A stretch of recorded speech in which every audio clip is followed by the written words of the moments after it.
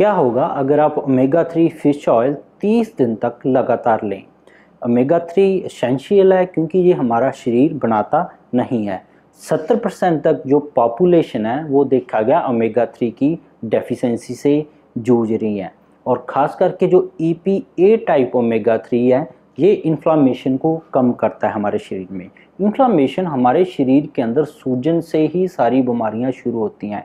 चाहे वो जॉइंट में हो, चाहे वो लेवर में हो, चाहे हार्ट में हो, चाहे पैनक्रियाज में होकर आपको डायबिटीज़ शुगर हो जाए तो ये इन्फ्लामेशन को E P A type omega three कम करता है। तो ये सेवेंटी परसेंट लोगों के अंदर देखा गया डेफिशिएंसी आ रही है और लगभग जो 20 परसेंट हमारा जो ब्रेन है, वो डी एच ए टाइप जो ओमेगा थ्री है, उससे बना होता है। तो अगर D H A type omega three कमी हो जाए तो हमारे साथ कैल्शियम की ऑब्जॉर्बेशन के साथ भी बहुत ज़्यादा प्रॉब्लम आ जाती है, क्योंकि जितना D H A type omega three का आपकी बॉडी के अंदर ज़्यादा होगा, उतना ही आपका बॉडी जो भी आप खाए पिएँगे, उन सभी खाए पीने वाली चीज़ों से कैल्शियम आपके शरीर में बनाना और बढ़ाना शुरू कर देता है। फ़िश ऑयल और कॉड लिवर ऑयल में बहुत ज़्यादा डिफरेंस होता है। भारत में जो ज़्यादातर कंपनियाँ बेच रही हैं, वो फ़िश ऑयल बेच रही हैं प्योर कॉड लिवर ऑयल मिलना बहुत ज़्यादा मुश्किल है। तो फ़िश ऑयल के अंदर भी अमेगा थ्री तो होता है कॉड लिवर ऑयल के अंदर भी अमेगा थ्री होता है, फ़िश ऑयल के अंदर डी एच ए और ई पी ए ये दोनों टाइप के अमेगा थ्री पाए जाते हैं। और कॉड लिवर ऑयल की बात करें, इसमें भी डी एच ए और ई पी ए पाए जाते हैं। पर जो ज़्यादा कारगर है, जो हमारे शरीर को बीमारियों से बचाने का सबसे ज़्यादा काम करता है, वो कॉड लिवर ऑयल है। क्योंकि फ़िश ऑयल के अंदर आपकी मेमोरी को बढ़ाता है, जो रिसर्च हुई है फ़िश ऑयल अगर आप कंटिन्यू फ़िश ऑयल कंज्यूम करना शुरू करेंगे, आपकी मेमोरी बहुत ज़्यादा बढ़िया हो जाएगी। तो ऐसा नहीं है कि फ़िश ऑयल का कोई बेनिफिट नहीं है। कॉड लिवर ऑयल के अंदर विटामिन ए है विटामिन डी है तो इससे ये आपकी ओवरऑल बॉडी को सपोर्ट करता है। आपको जल्दी बीमारियाँ नहीं आती हैं किसी भी तरह की। विटामिन ए आपकी आँखों की और ब्रेन की सेहत के लिए बहुत ज़्यादा ज़रूरी होती है। तो इसलिए कॉड लिवर ऑयल है वो बहुत ज़्यादा इसेंशियल माना जाता है। तो फ़िश ऑयल और कॉड लिवर ऑयल मिलकर भी आप ले सकते हैं, बहुत ज़्यादा बेनिफिशियल इसके इफ़ेक्ट देखने को मिलते हैं। डेफिशिएंसी सिम्टम क्या होंगे कि मेगा थ्री आपके अंदर कम हो गया है, क्या कुछ आपको लक्षण आपकी बॉडी में मिल सकते हैं?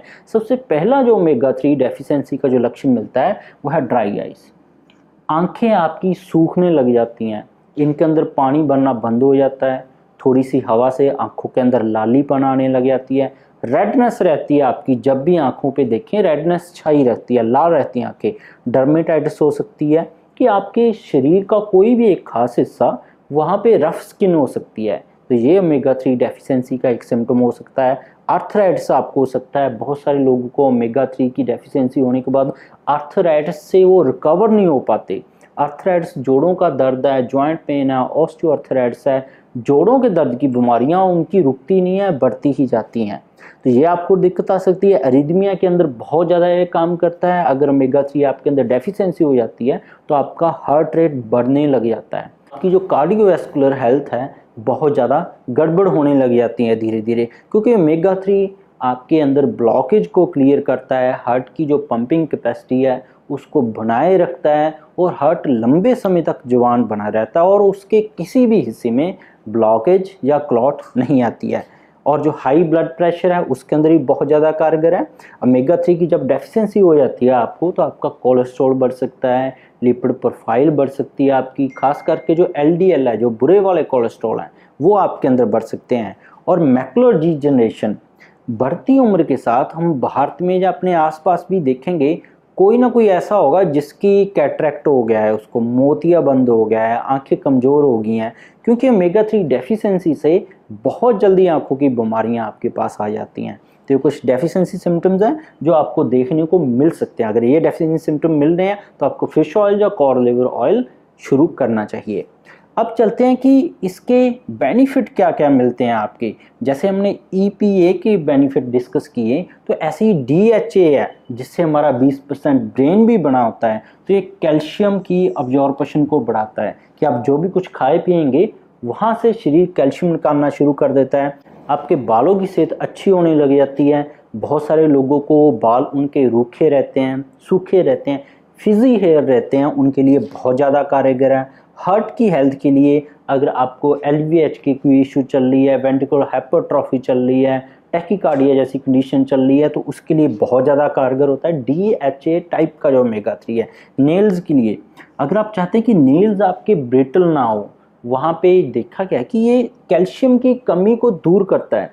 तो जब कैल्शियम की कमी आती है, आपके जो नेल्स हैं, नाखून उनकी सेहत बहुत ज़्यादा ख़राब होने लग जाती है तो उसको रिकवर करता है। और ओवरऑल आपका जितना भी हड्डियों का ढांचा है बोन स्केल्टन है, उसकी हेल्थ को ये बनाए रखता है।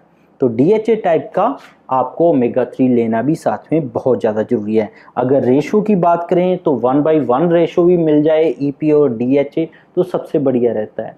अब चलते हैं कि इसके सोर्सेस क्या हो सकते हैं कि जहाँ से आपको मेगा थ्री या फ़िश ऑयल वाला ई e और डीएचए मिल सके, जो आपकी बोन को सपोर्ट करे, आपकी मेमोरी को सपोर्ट करे, आपकी ओवरऑल हेल्थ को सपोर्ट करे।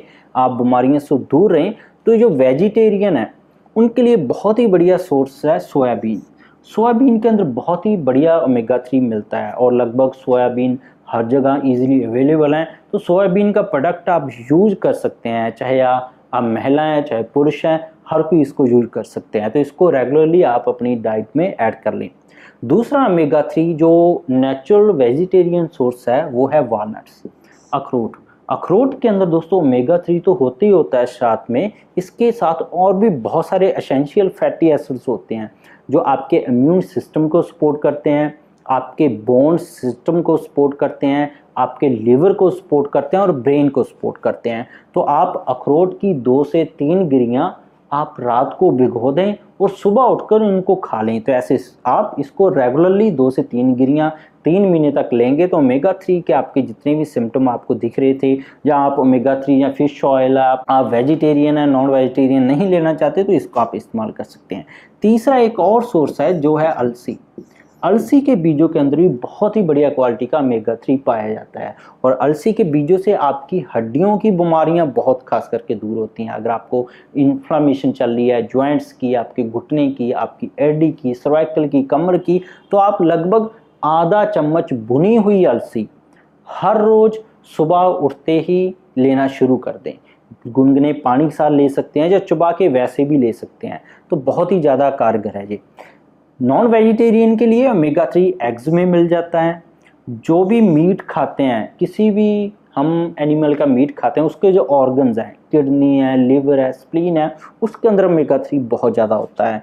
और जो लगभग फ़िश जो जंगली फ़िश जिनको बोल देते हैं, जो फार्म प्रोड्यूस नहीं है, जो जंगली फ़िश हैं, उनके अंदर भी ओमेगा थ्री बहुत बढ़िया होता है। तो कॉड लिवर अगर आपको ओरिजिनल मिल जाए तो वो भी ले सकते हैं। नॉन वेज के अंदर आ जाता है वेजिटेरियन ये वाले जो तीन सोर्सेस हैं इनको लें। तो, तो इसके बिना भी मेरे चैनल पर बहुत सारे हेल्थ टॉपिक्स पर वीडियोज़ हैं चाहे वो गठिया चाहे वो एलर्जी है चाहे अस्थमा है चाहे ब्रेन ट्यूमर है चाहे किसी के हार्ट के वालों ख़राब हैं चाहे वो थायराइड या डायबिटीज़ हैं चाहे वो आप इनके लिए काफ़ी लंबे समय से दवाइयाँ खा रहे हैं इनका परमानेंट ट्रीटमेंट कर सकते हैं। सारी वीडियोज़ मेरे चैनल पर अवेलेबल है। ज़रूर देखिएगा। सब्सक्राइब नहीं किया तो सब्सक्राइब कर लें। मिलता है कल फिर नई वीडियो के साथ।